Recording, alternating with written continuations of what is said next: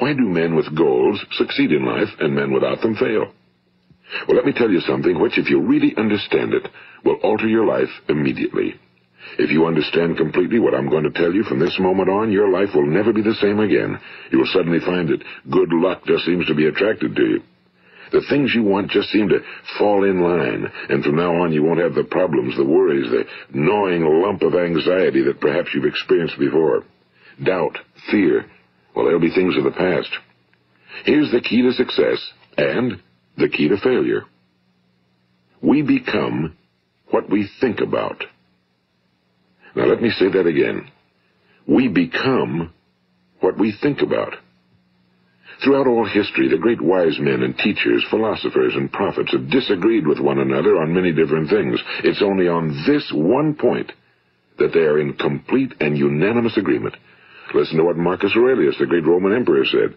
A man's life is what his thoughts make of it. Disraeli said this, Everything comes if a man will only wait. I've brought myself by long meditation to the conviction that a human being with a settled purpose must accomplish it, and that nothing can resist a will that will stake even existence for its fulfillment. Ralph Waldo Emerson said this, A man is what he thinks about all day long. William James said, The greatest discovery of my generation is that human beings can alter their lives by altering their attitudes of mind. And he also said, we need only in cold blood act as if the thing in question were real, and it will become infallibly real by growing into such a connection with our life that it will become real. It will become so knit with habit and emotion that our interest in it will be those which characterize belief. And he also said, if you only care enough for a result, you will almost certainly attain it. If you wish to be rich, you will be rich. If you wish to be learned, you will be learned. If you wish to be good, you will be good. Only you must then really wish these things and wish them exclusively, and not wish at the same time a hundred other incompatible things just as strongly. In the Bible you read in Mark 9:23, If thou canst believe, all things are possible to him that believeth. My old friend Dr. Norman Vincent Peale put it this way, this is one of the greatest laws in the universe. Fervently do I wish I had discovered it as a very young man. It dawned upon me much later in life, and I found it to be one of the greatest, if not my greatest discovery outside of my relationship to God. The great law, briefly and simply stated, is that if you think in negative terms, you will get negative results. If you think in positive terms, you will achieve positive results. That is the simple fact, he went on to say, which is at the basis of an astonishing law of prosperity and success.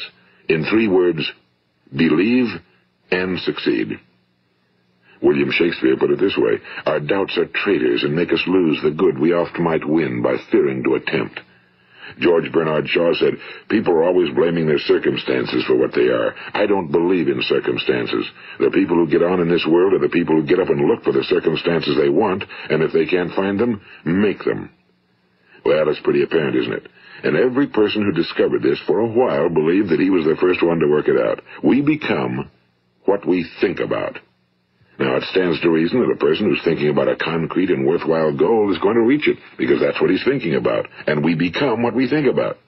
Conversely, the man who has no goal, who doesn't know where he's going, and whose thoughts must therefore be thoughts of confusion and anxiety and fear and worry, becomes what he thinks about.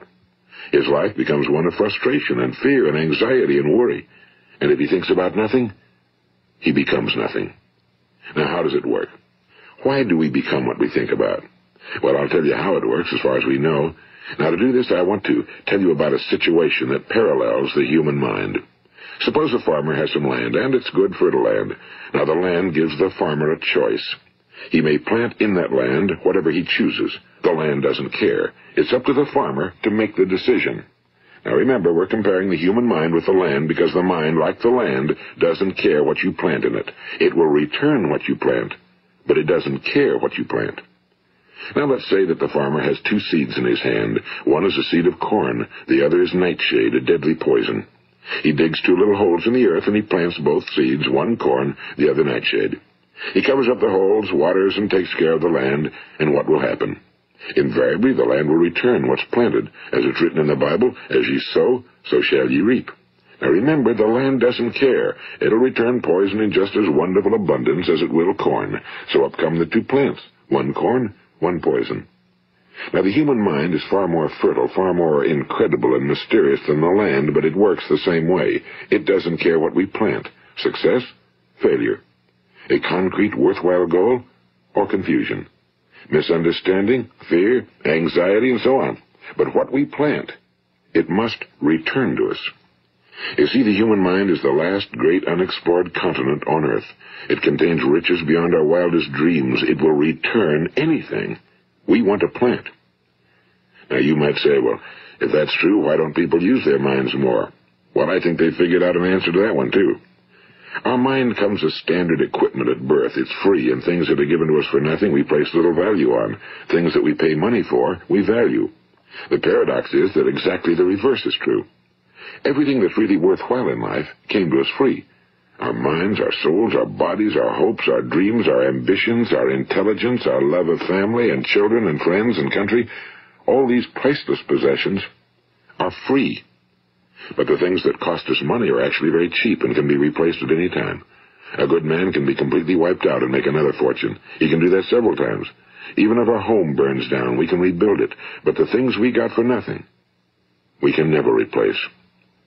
The human mind isn't used because we take it for granted. Familiarity breeds contempt. It can do any kind of job we assign to it, but generally speaking, we use it for little jobs instead of big important ones.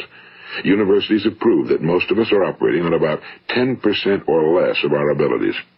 So decide now. What is it you want?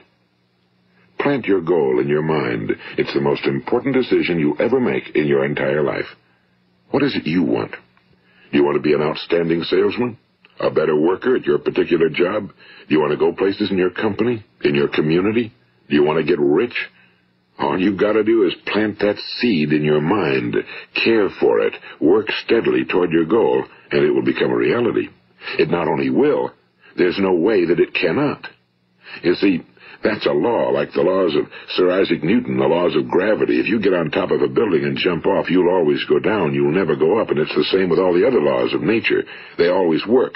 They're inflexible. Think about your goal in a relaxed, positive way. Picture yourself in your mind's eye as having already achieved this goal. See yourself doing the things you will be doing when you've reached your goal. Ours has been called the phenobarbital age, the age of ulcers and nervous breakdowns and tranquilizers, at a time when medical research has raised us to a new plateau of good health and longevity. Far too many of us worry ourselves into an early grave trying to cope with things in our own little personal ways without learning a few great laws that will take care of everything for us. These things we bring on ourselves through our habitual way of thinking. Every one of us is the sum total of his own thoughts. He is where he is because that's exactly where he really wants to be, whether he'll admit that or not. Each of us must live off the fruit of his thoughts in the future, because what you think today and tomorrow, next month and next year, will mold your life and determine your future. You're guided by your mind.